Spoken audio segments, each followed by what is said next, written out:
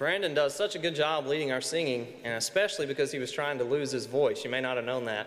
But I'll tell you what, he just messed up big time because he missed a once in a lifetime opportunity. How could we not sing just if just a cup of water as he was handed that cup to drink? I a once in a lifetime opportunity. It'll never happen again. You have no idea how honored we are that you're here tonight. Uh, we love to have other congregations in our building. We love the Church of Christ. We love the Brotherhood. We love our sister congregations. And so it really means the world to us that you're here tonight and that your congregation is represented for this, for this great night. Have you ever been in love? Now, some of y'all aren't there yet, but some of y'all know what I'm talking about. And I'm not talking like you walked in and you saw a cute boy or girl tonight and you're in love. No, I'm talking about the real thing. Like you're at work and you're at school, but it doesn't matter. Nothing matters. You can't wait to get off, can't wait to get out of school, to race home and to see that person and to talk to them. Like you're in sports or you're in band, but it doesn't matter because you can't wait till it's over until you can get out and you can see them and you can talk to them.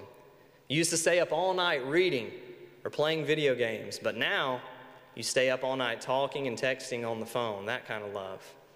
You know, when I was first falling in love with my wife, Ashley, seeing her was the only thing that I wanted to do. Now, I lived in Jacksonville, Alabama, which is about an hour from here, and she lived here in Rome. And every Friday, as soon as I got off work, I would race to Rome to see her. Now, we only dated about six months before we got married, but for that six months, the only thing I wanted to do was to be around her. And so I would get here as soon as I could. And I even had a friend that would let me stay on his couch each night, and I wouldn't leave Rome until I had to leave for work Monday morning at 8 a.m. And so I spent all the time that I could trying to be around her and trying to be with her. And it wasn't enough, no matter how much time I spent. You know, I had a lot of hobbies, I had a lot of friends, but none of those things were as important to me anymore once I met Ashley and once I could start spending time with her. And so all of how I spent my time changed. You know, some of you would rather see the other person that you like right now or that you love than breathe. You know, and that, that's when it gets dangerous. But we all have those people or will have those people that just change everything for us. You know, if you've never been there, it seems silly, but one day you'll understand. And so I spent my time chasing her, showing her what she meant to me. You know, I was after her heart. I wanted to win her over. I wanted to make her love me and to like me and to spend the rest of her life with me. You know, I'm telling you all of this because this earthly example is the closest thing that I can think of to, to convey to you a much deeper spiritual reality that we have. It's the only thing I can think of to show something this deeply spiritual. What does it look like to be after God's heart? What does it look like to, to chase God with everything that you've got?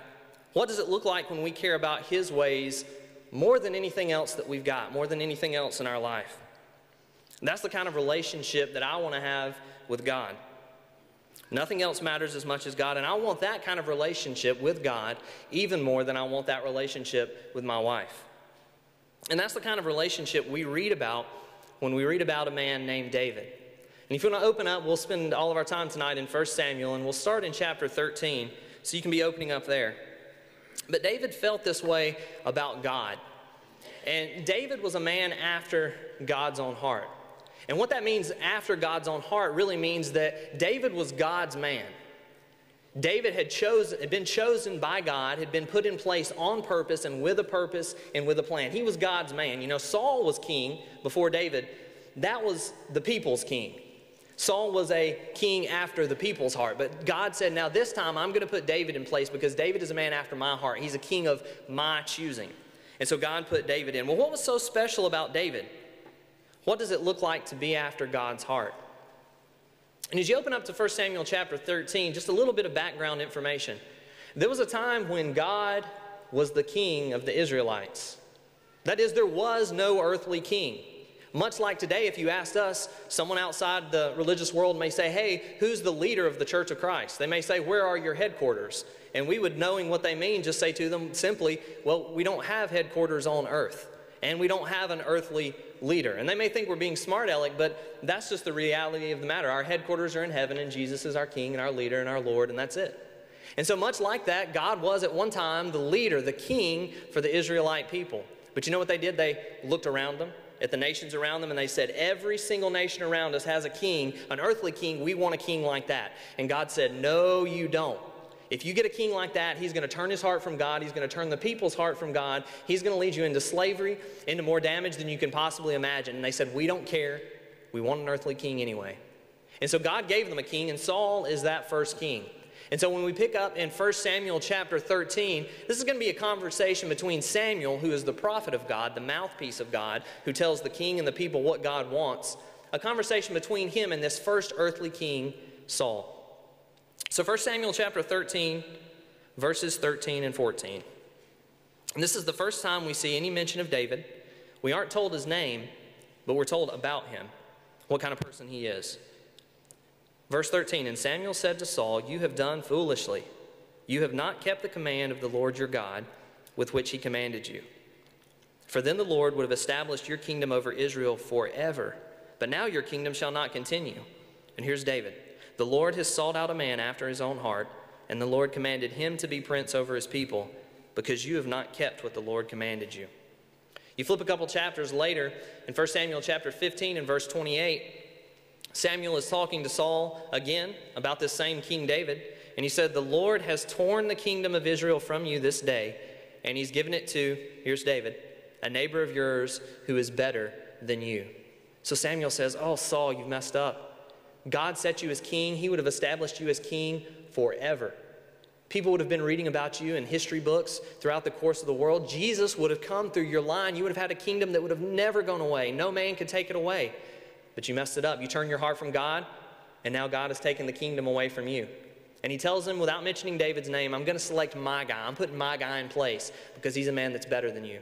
He has me in his sights and in his heart. Now turn over to 1 Samuel 16, and then we'll just kind of march through the text, chapter 16 and 17. This is the first time we actually meet David, and he's called by name. In chapter 16, in the start of it, Samuel is so upset about what's happened to Saul that he has retired from public ministry, as it were. And he is moping and whining and weeping and mourning the loss of this man of God.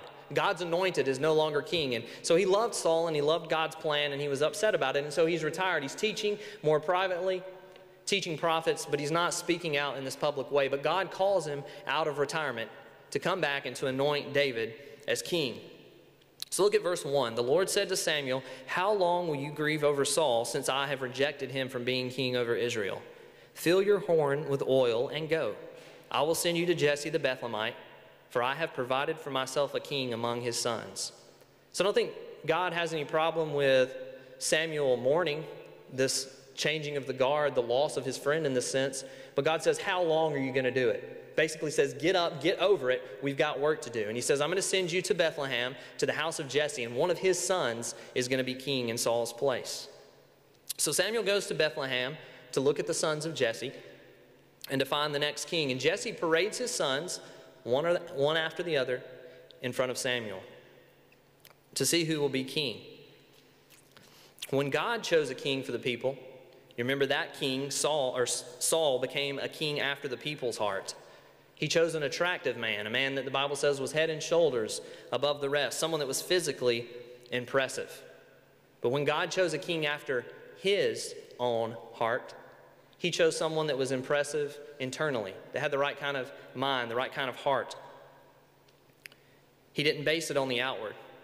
You think Samuel would have learned his lesson. God picked this man who's attractive and powerful and tall, and look what he did. But Samuel didn't learn his lesson. So he assumed it would be Jesse's oldest, most physically impressive son, Eliab, in verse 6. So read verses 6 and 7. When they came, he looked on Eliab and thought, Surely the Lord's anointed is before him. But the Lord said to Samuel, Do not look on his appearance or the height of his stature, because I've rejected him. For the Lord sees not as man sees. Man looks on the outward appearance, but the Lord looks on the heart. Now, how beautiful is that? God judges not based on what hand we were dealt genetically or in life, God's not basing on the outward appearances, but God bases on what we can control, what's internal. In 1 Peter chapter 3 and verse 4, Paul is talking to our sisters, to the Christian ladies, and he's telling them how to prioritize how they look in their life. And he tells them there, he says, Your beauty, it should be that of your inner self, the unfading beauty of a gentle and quiet spirit, which is of great worth in God's sight. You know, this is specifically to the women. We could apply it to the men as well. If we spend two hours getting our hair ready, picking out the right outfit, and then in a day we don't spend two minutes thinking about how we are in here, how we are here, how we view people, how we interact with people, what our purpose in life is, God says you have your priorities out of order. We should spend more time changing the inward person, which is what God judges and what God looks out, than the outward. And we can be beautiful on the outside, but not be beautiful to God. And so that's where the focus should be. So if it were up to Jesse in 1 Samuel 16 here, and if it were up to Samuel, the new king would be Eliab. He's the first one Jesse offered. He's the first one Samuel thought, well, this has got to be the guy. Look at how kingly he looks. But it wasn't up to Jesse, and it wasn't up to Samuel. It was up to God. And so Eliab was rejected. Now, in verses 8 through 11, the sons of Jesse, they're going to be presented one after the other to Samuel to see who's going to be king. Let's read verses 8 through 11. Then Jesse called Abinadab and made him pass before Samuel. And he said, Neither has the Lord chosen this one. Then Jesse made Shammah pass and he said, Neither has the Lord chosen this one. And Jesse made seven of his sons pass before Samuel. And Samuel said to Jesse, The Lord has not chosen these. Then Samuel said to Jesse, Are all your sons here? And he said, Well, there remains yet the youngest, but he's keeping the sheep. And Samuel said to Jesse, Send and get him. We won't even sit down until he comes. Okay, so it seems like at some point in this process, Samuel, God's mouthpiece, the prophet, fills Jesse in on what's going on. I'm here because one of your sons is going to be the next king of Israel. And so Jesse brings in his sons and he lines them up in an order of most likely to least likely, maybe oldest to youngest possibly, and he presents them to Samuel. So Samuel sees them and sees this recommendation from Jesse, and he says, You think that's the king, but, but that's not the king. God has rejected him. God is going to pick someone else. And so he tells him, No, no, no, time after time, seven times. And it's not until he tells him no on this last and seventh son that he's brought that Jesse realizes, oh, hey, there's someone else that I didn't bring. I didn't even think enough, maybe, of my youngest son to invite him to allow him to have a chance. And so now they send for him and they bring David. You know, to me, that says that Jesse thought David was the least likely candidate, and there was no need to even send for him. So Samuel tells Jesse, One of your sons is going to be the next, next king. Jesse doesn't think enough of him to even invite him to the meeting. But it's David because God sees something special in him. There were a lot of people God could have chosen. You know, I'm sure there were more athletic people. There were better warriors. There may have been better looking people in the kingdom. But God chose David because there was something special about him. You know, it's interesting. He wasn't invited to this meeting, and now they're waiting on him. And he is leaving watching his father's sheep to start watching the father's sheep. Look at verses 12 through 14. And he sent and brought him in. Now he was ruddy and had beautiful eyes and was handsome. And the Lord said, Arise, anoint him, for this is he. Then Samuel took the horn of oil and anointed him in the midst of his brothers. And the Spirit of the Lord rushed upon David from that day forward. And Samuel rose up and went to Ramah. Now the Spirit of the Lord at the same time departed from Saul, and a harmful spirit from the Lord tormented him. So Saul's life gets really bad. You know, when God leaves us or when we leave God, things get bad. And David's life gets really good. When we're walking with God, our life gets good. All right, now this will be our biggest chunk that we'll read. Read with me verses 14 through 23. Now the Spirit of the Lord departed from Saul, and a harmful spirit from the Lord tormented him. And Saul's servants said to him, Behold, now a harmful spirit from God is tormenting you. Let our Lord now command your servants who are before you to seek out a man who is skillful in playing the lyre, and when the harmful spirit from God is upon you, he will play it, and you'll be well. So Saul said to his servants, Provide me a man who can play well, and bring him to me. And one of the young men answered, Behold, I have seen a son of Jesse the Bethlehemite, who is skillful in playing, a man of valor, a man of war, prudent in speech, and a man of good presence, and the Lord is with him. Verse 19 Therefore Saul sent to Jesse and said, Send me David your son, who is with the sheep. And Jesse took a donkey laden with bread and a skin of wine and a young goat and sent them by David his son to Saul. And David came to Saul and entered his service. And Saul loved him greatly, and he became his armor bearer. And Saul sent to Jesse, saying, Let David remain in my service, for he has found favor in my sight. And whenever the harmful spirit from God was upon Saul, David took the lyre and played it with his hand. So Saul was refreshed and was well, and the harmful spirit departed from him. So Saul's life gets really bad. David's life gets really good. So good that even though David keeps his mouth shut, he doesn't tell anyone that he was king, everyone around him still notices him. You know, if we were to wait here till midnight and we were to wait till it's really dark out, we turned all the lights off, and then one person in the middle of the auditorium were to turn a flashlight on, all of our eyes would instantly be drawn there. So it is when you add a Christian to a dark situation. They get a lot of attention, they get a lot of focus because people see Christ living through them and it shines in the darkness. And so it was here with David. People could tell that David had been with God, something was different about him. He'd been anointed king, but just like he was instructed, he hadn't told anyone. You know, could you keep a secret like that? I mean, we're so quick to post every great thing that we do, uh, even take credit maybe for other people's great things that could involve us. But David kept a, a secret that was so special. He kept it so well that even in chapter 17, our next chapter, his older brother Eliab didn't know that he had been anointed king. And so here Saul had been told his neighbor would take his place. And now, unknowingly, Saul has invited that neighbor, David, in.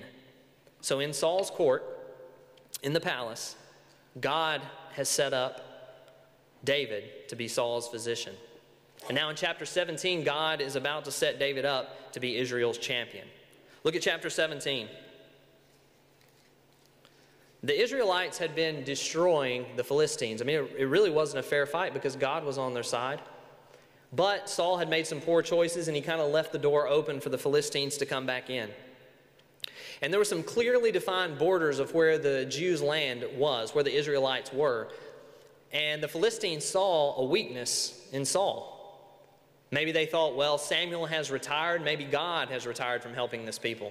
They saw the evil spirit maybe that was tormenting Saul and thought, his mind is not on war. This would be a good time for us to strike. And so they go into part of this border territory that Israel owned and they set up camp, basically challenging the Israelites to come and to kick them out. So that's where we find ourselves in verses 1 through 11.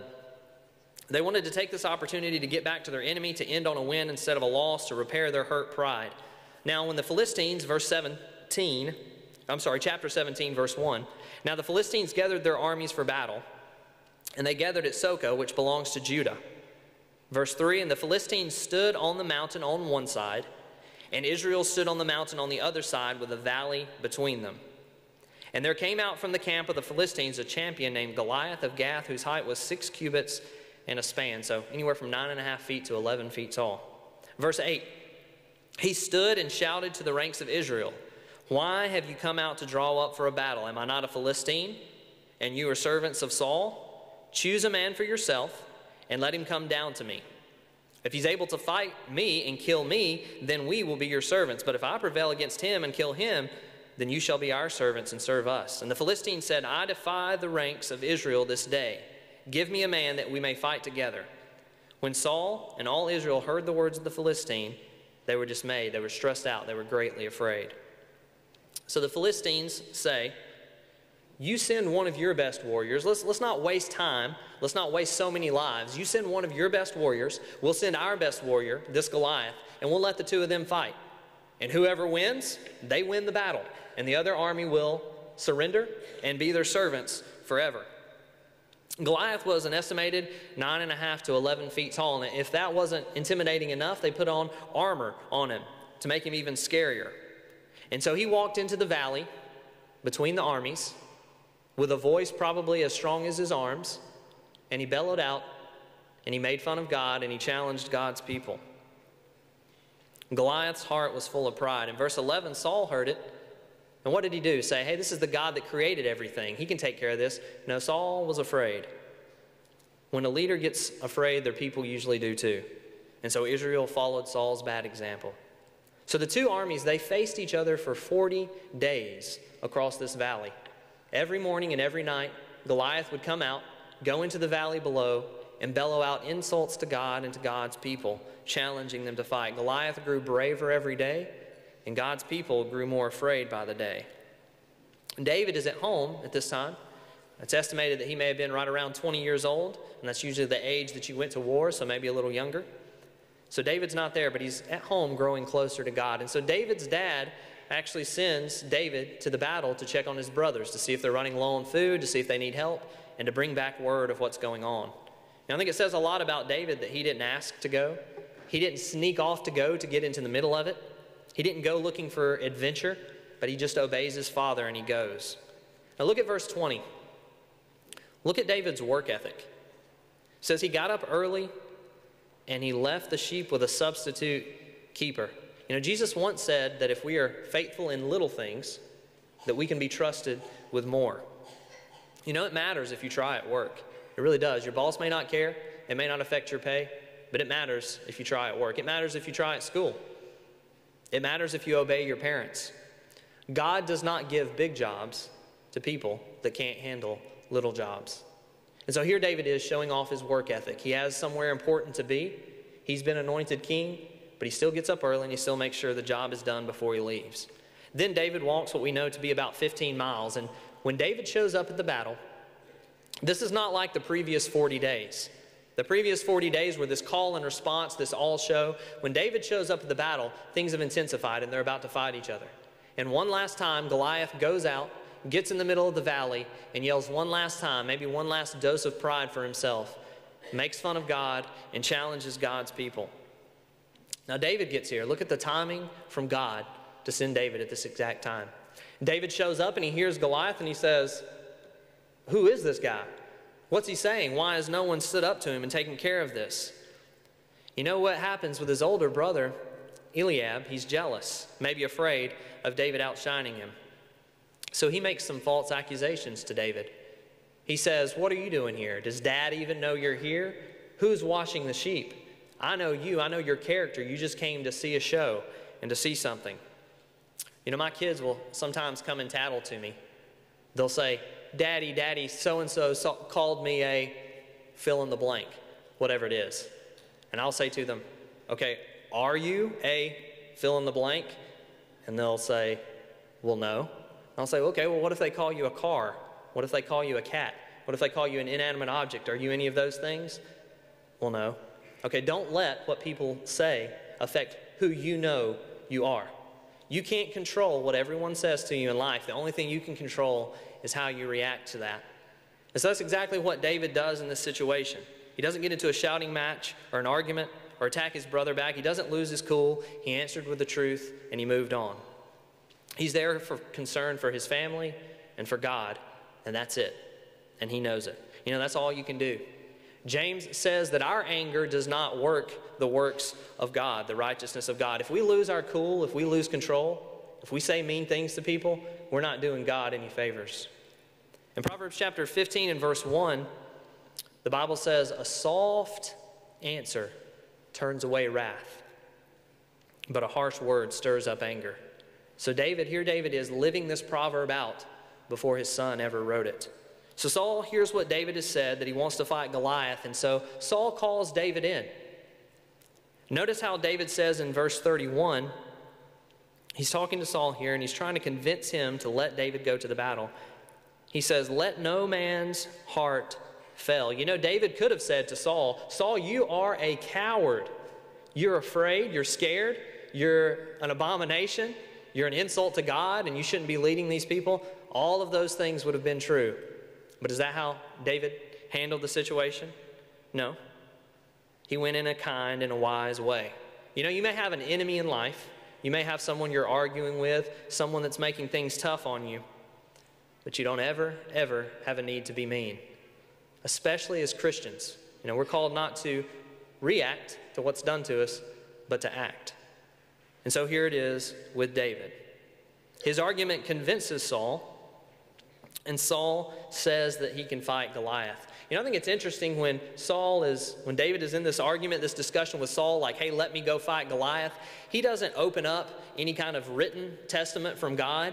He doesn't even call to mind the oral traditions that have been passed down about all the things that God has done. We already know Saul is a man who really doesn't care that much about what God says. But look at how David convinces him. David says, Look, I've killed a bear, I've killed a lion, I didn't do that by myself. God was with me. God made it happen, and God will allow me and help me to kill this giant. And so from that, he gets Saul's permission. Saul tries to put his armor on David to protect him, but it doesn't fit David very well, and uh, he's not used to it, so he asks to not have to take it. And so that's what happens. He doesn't wear the armor. You know, I wonder if the irony ever struck Saul that he tried to put the helmet and the armor on a man that would eventually take his crown and robe and take his spot as the king. So it's almost time for this famous combat scene, and these next few verses will get us ready. Look at verse 45. Goliath here is ready with his armor. He's ready with his armor bearer in front of him. He's ready with his sword and his spear. And David only has a sling and five little stones. Goliath curses at David, and he's offended that the Israelites would send out this weak enemy and opponent for him. And so, in his last few moments, he insults God again and insults David. But look at David's speech. Does he get baited into this fight? Does he return mean for mean? Verse 45 Then David said to the Philistine, You come to me with a sword and a spear and with a javelin, but I come to you in the name of the Lord of hosts, the God of the armies of Israel, whom you have defiled. This day the Lord will deliver you into my hand, and I will strike you down and cut off your head, and I will give the dead bodies of the host of the Philistines this day to the birds of the air and to the wild beasts of the earth, that all the earth may know that there is a God in Israel, and that all the assembly may know that the Lord saves not with sword and spear for the battle is the Lord's, it's already His, and He will give you into our hand. So David said the victory, it wouldn't show how great Israel was, it wouldn't show how great David was, it would show how great God was. Know, it's God that gets the credit when the extraordinary is done with the ordinary. So here it is the battle, verses 48 through 51. Goliath makes a show. He comes out and taunts David. David runs quickly at him and runs toward Goliath. Goliath wasn't in a hurry because he knew that at any time he could kill David with one swing whenever he wanted. And so he wasn't afraid, but he was cocky. He took his time. But while he was taking his time, David struck first. He threw a stone that went up in the air and, with God's guidance, hit the giant between the eyes or in the forehead, and in the twinkling of an eye, the giant hit the ground. See how frail and uncertain life can be. You know, we think we've got everything figured out and everything's going to be a certain way. Things can change instantly. So David took Goliath's sword, took his own sword, how insulting, took his own sword from him and cut off Goliath's head. And I'm sure some thought, he's not even taking a sword into battle. Where is he going to get one? He's going to take one from Goliath and use it, and that'll work just fine. So when Goliath died, the Philistines did not surrender like he had promised, but their spirit was broken, and they ran, they retreated. And the Israelite spirits were lifted, and they pursued the Philistines and chased them out. Now all of Israel had been put on notice. David was known in the courts, and now David was known in the camp. God didn't use Saul because Saul didn't have the right kind of heart. He was tall, he was powerful, he was in the right position, he was popular, he was the king, but he wasn't the right kind of man. God used a little shepherd, a nobody in the eyes of his enemies, a nobody in the eyes of a lot of his countrymen, all because David's heart was in the right place. Ephesians chapter 3 and verse 20 says that God is able to do far more abundantly than all we ask or think. You, you dream up something, something amazing for your life, for God, for the church, whatever it is, God can think of and make actually happen greater than we can ever think of. God formed a man after his own heart, a king, a prophet, a relative of Jesus, from a boy whose father didn't believe in him. Now, who doesn't believe in you? People may limit you. You may have a time in your life when a teacher says you'll never amount to anything. People that you go to school with may think that you'll never be anything. Your parents, your own family may think you're very limited, that you'll never be anything, and they may tell you from time to time. People will try to limit you. You may even try to limit yourself. But this story, this story shows us that if you'll give your heart to God, your whole heart, if you'll be a person after God's heart, chasing and pursuing God, that there's no limit to what God can do with you. In the 1980s in London, a man sold a fake diamond ring, and he sold it for $13.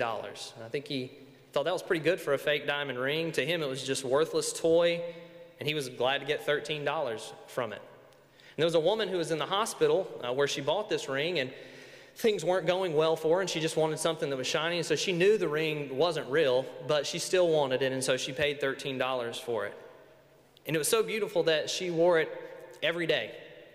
And after 30 years of having it, she thought, I'm going to take this to a jeweler just to see what it's worth, so I'll know. And when she took the ring to the jeweler, she was shocked to find out that the ring that she had was real and was actually worth $800,000. And that's what it went for at auction when she sold it. You know, someone didn't want it.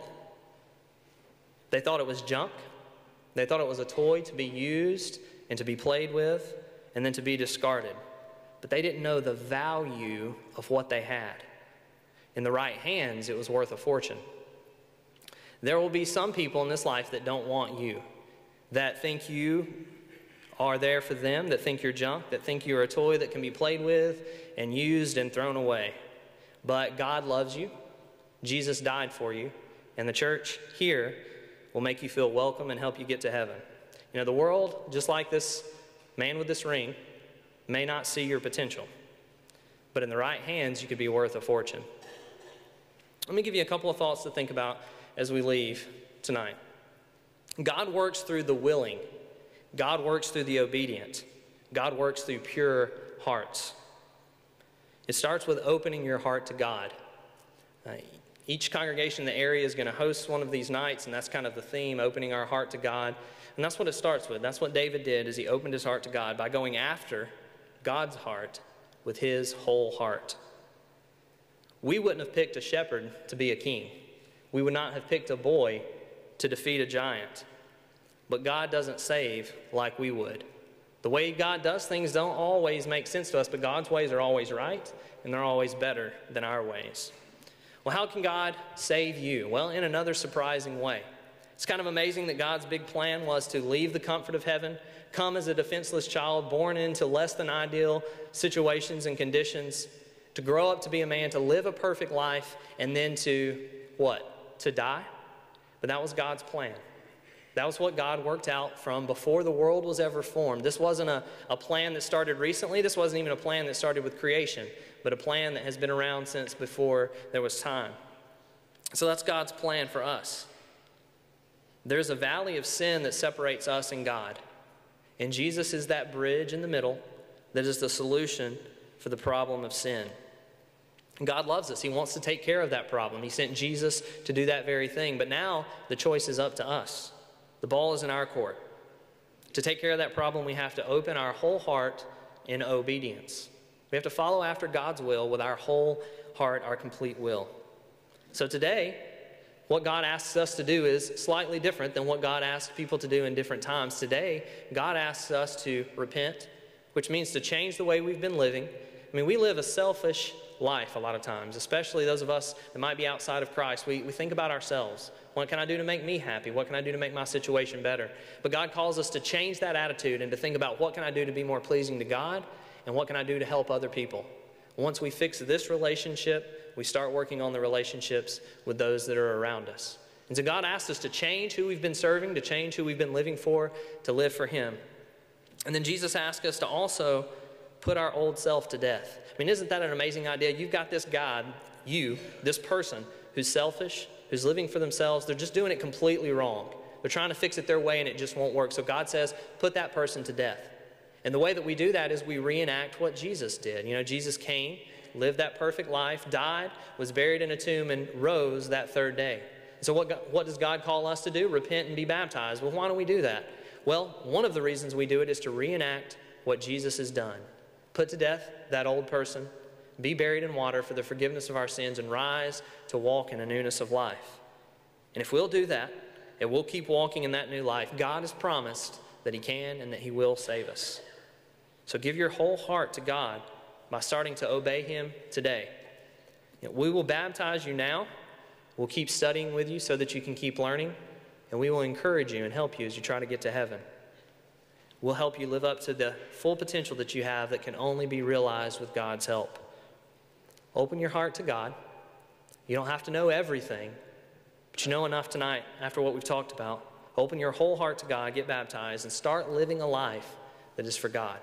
If you want to do that, we'll sing a song to encourage you, and you can come and we'll do that tonight while we sing.